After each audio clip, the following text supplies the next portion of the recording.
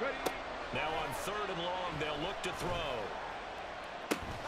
He's got his target. That's complete. He's still on his feet. Inside the 10.